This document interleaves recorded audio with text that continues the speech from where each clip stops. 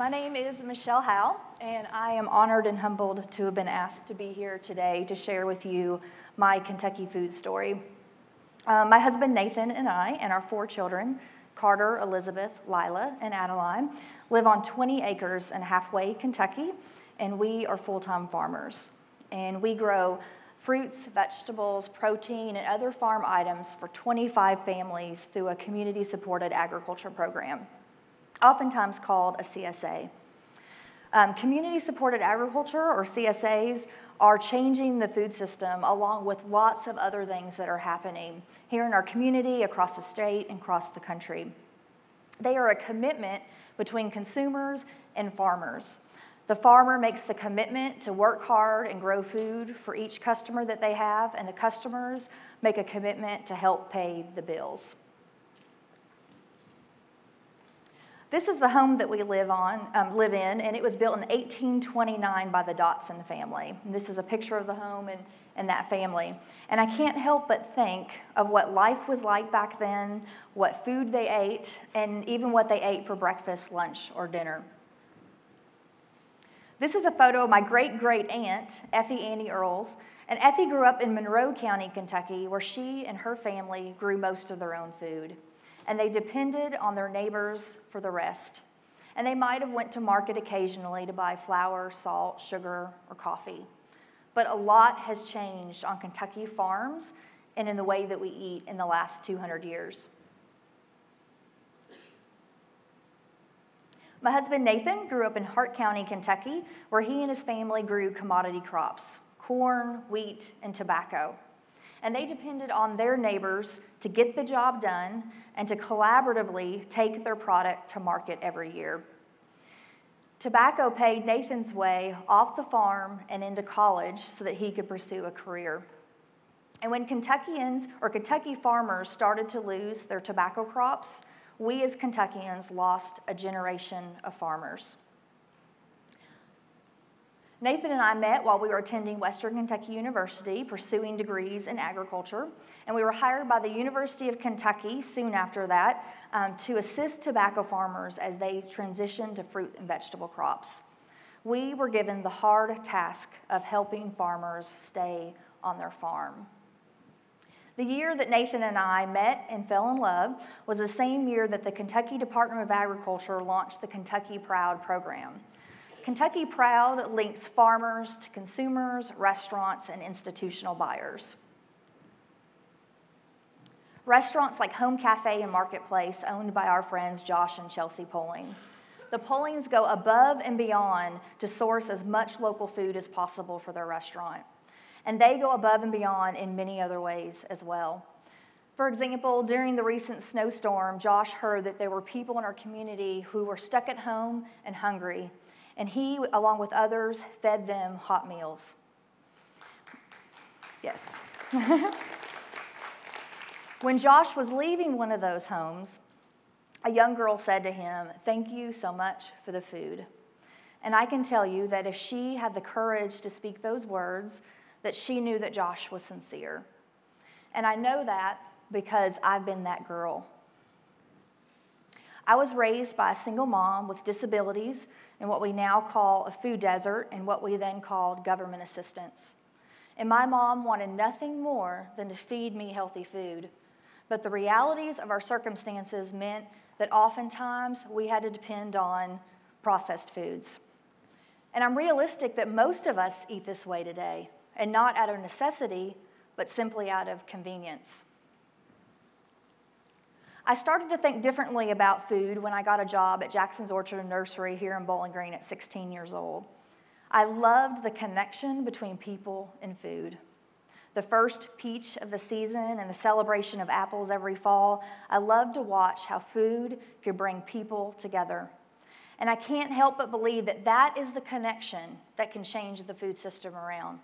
That is what is going to create the commitment for customers to support farmers so they can, can expand their businesses. And that is what parents and people in restaurants that are preparing food, it's what's going to motivate us to make healthier decisions. Now, I'd like to say that when Nathan and I started having children, that I fed my family the healthiest foods possible. But the reality is, I was like most people overworked, overwhelmed, and just picked whatever was easy and convenient. But there were three life experiences that I had that made me completely stop and think about the food that we eat and where it comes from. When my second child, Elizabeth, was born and refused formula, we began an exclusive breastfeeding relationship. When I discovered through support and encouragement of others that breast milk was the best first food, I began to consider what the next best food is. That's when I took the relationship that I have with farmers to the next level by eating their food. I found that I could save money by eating local food because I could cut down on food waste. When my third child, um, Lila, was diagnosed with severe food allergies, and we had exhausted all other options to heal her, we were completely able to heal her with fresh food, real food. And when we lost Nathan's mom to a preventable disease, and we spent two years of our life in Kentucky hospitals, we realized that we're losing our parents and our grandparents at a younger age to obesity, diabetes, and cardiovascular disease. That's when Nathan and I made the commitment to become full time farmers. About the same time, there was a group of community leaders, resource partners, artists, and farmers that came together to start Community Farmers Market in Bowling Green on WKU grounds. We had two goals as a farmers market. First, we wanted to create dignity and respect for both farmers and artists. And I just really related to what Stephanie was saying because farmers and artists do deserve our respect.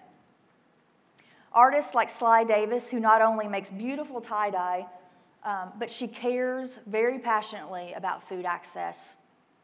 We went out into the community with resource partners like Dana Bennett, who cares very much about breastfeeding and local food, and she sees the connection that it can make. So, together, these community leaders, these resource partners, these farmers, these artists, we went out into the community and we listened to people's needs. We listened to new consumers who are, weren't already eating local food and also people just who didn't have access to fresh food. College students, busy professionals, refugees, immigrants, moms with young children. We listened to what they said, and they said, We have some major obstacles in our lives. We need local food to be more affordable, approachable, and accessible. To make local food more affordable, Community Farmers Market began accepting SNAP, also called food stamps, WIC and senior nutrition vouchers, and also big red dollars. Over $1.2 billion are spent on SNAP benefits every year in Kentucky. Most of those dollars go to big box stores and for processed food. If a small percentage of those dollars could go to local farmers, we could have a stronger economy. We also could help more households have nutritious, fresh food in their home we're able to lev- um, leverage those supplemental nutrition program dollars by partnering them with contributions from the community, from churches, organizations, businesses, and individuals. And in a little over a year, we've already um, put $35,000 worth of fresh food in the hungriest homes of Bowling Green.